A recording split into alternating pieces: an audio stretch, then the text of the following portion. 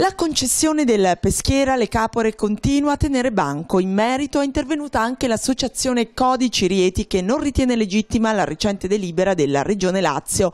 Diverse le motivazioni per il coordinatore Antonio Boncompagni.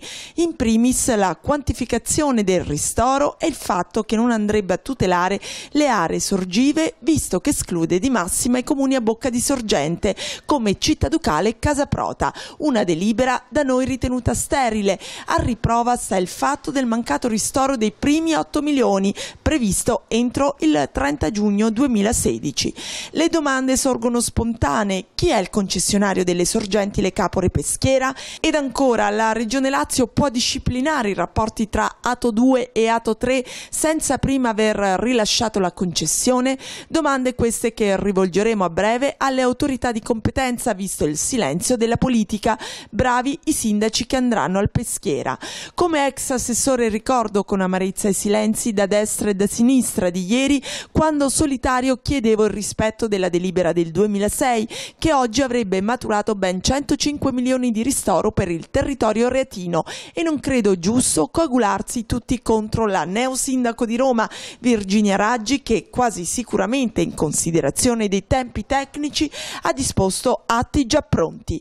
Non ci sarà una regia antigrillina anche in vista delle prossime elezioni a Rieti? Un'ultima domanda sul piano amministrativo, ha concluso Boncompagni. Quali azioni ha intrapreso il presidente della provincia di Rieti, Giuseppe Rinaldi, a seguito di una certa comunicazione ricevuta nell'aprile 2015 riguardante il presunto danno erariale collegato al mancato rispetto della delibera regionale del 2006, quella dei 105 milioni?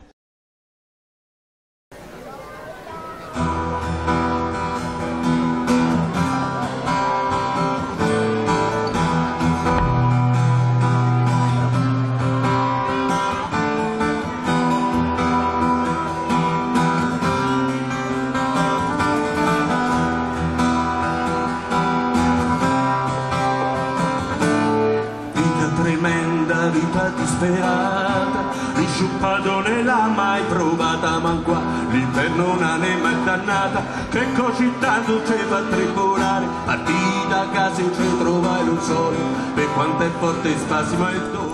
Si è chiusa con la tappa retina del tour Terra in vista del Reatino, Raffaello Simeoni e Massimo Giuntini con DJ Pietro Pin Console nell'Osteria delle Stelle la quinta edizione della manifestazione Osterie dei Pozzi. Come da tradizione tanta buona musica ed enogastronomia per la kermesse estiva organizzata dall'associazione Sunshine che da anni ogni estate porta alla riscoperta uno degli angoli più suggestivi della città. Un saluto a tutti questa bella festa che ci sono parecchi, parecchi banchi che vendono la roba, no? abbiamo preso una birra a alto livello, come alto livello, alta quota alta quota che poi fa girare allora perché ti embriaca allora alta quota. Tre serate ed un percorso lungo un chilometro nelle varie osterie dislocate in diversi punti nel tratto che da Porta d'Arce fiancheggiando il corso del fiume Velino giunge fino all'inizio di via San Francesco.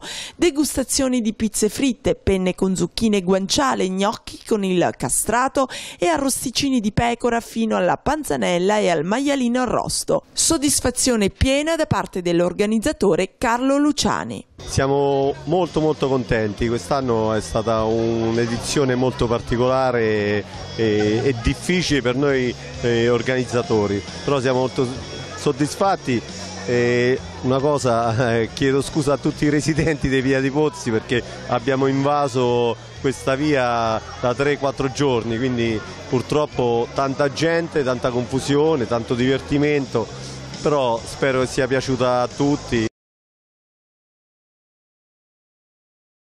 Lo schema di convenzione che secondo Melilli, Zingaretti Refrigeri, Rinaldi Petrangeli e pochi altri consiglieri avrebbe dovuto consentire un ristoro economico milionario di portata storica ai comuni del lato 3 di Rieti è in realtà un blef. Così l'associazione Rieti Virtuosa è intervenuta sull'avvertenza acqua. Lo avevamo detto e tale si è puntualmente dimostrato. Infatti la delibera regionale del 17 maggio scorso che approva tale convenzione è già di per sé inattuabile a prescindere dai ricorsi.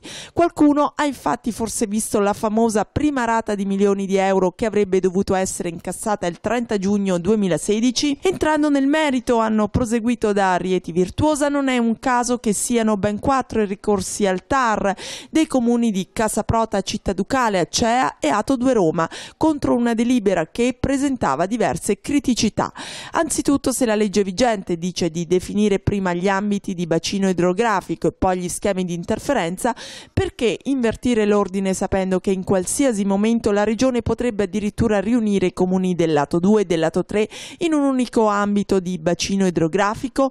Pensate sia una casualità o piuttosto una trappola? È la Regione che ben prima di stabilire gli schemi di convenzione ha in mano il potere dovere di legiferare, pianificare e rilasciare concessioni di grande derivazione, ma la Regione Lazio non ha né legiferato, non ha pianificato, non ha rilasciato né stabilito chi avesse diritto a richiedere la concessione del peschiera ed è proprio quest'ultimo il secondo profilo di legittimità. Non sarà che si sta manovrando tutta la campagna mediatica sulla vicenda semplicemente per tirarla lunga il più possibile a ridosso delle prossime elezioni amministrative a Rieti e raccogliere i frutti di questo sdegno pilotato? Non sarebbe più onesto organizzare una manifestazione in regione come suggerito dal sindaco di Castel Sant'Angelo, giusto per mirare al bersaglio?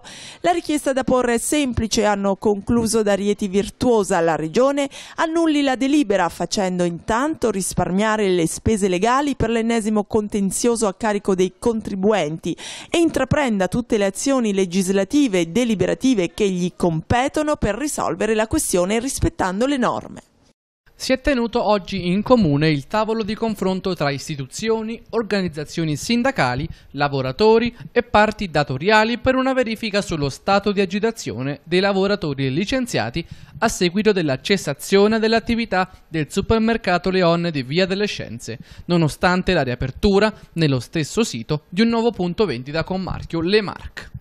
Presenti per il comune di Rieti il sindaco Simone Petrangeli, per il comune di Città Ducale il sindaco Roberto Ermini e il vice sindaco con delega alle attività produttive Daniele D'Angeli, per le organizzazioni sindacali Walter Filippi, per la Film Camps CGL Rieti e Pietro Feliciangeli per Will Tux Rieti e due rappresentanti dei lavoratori.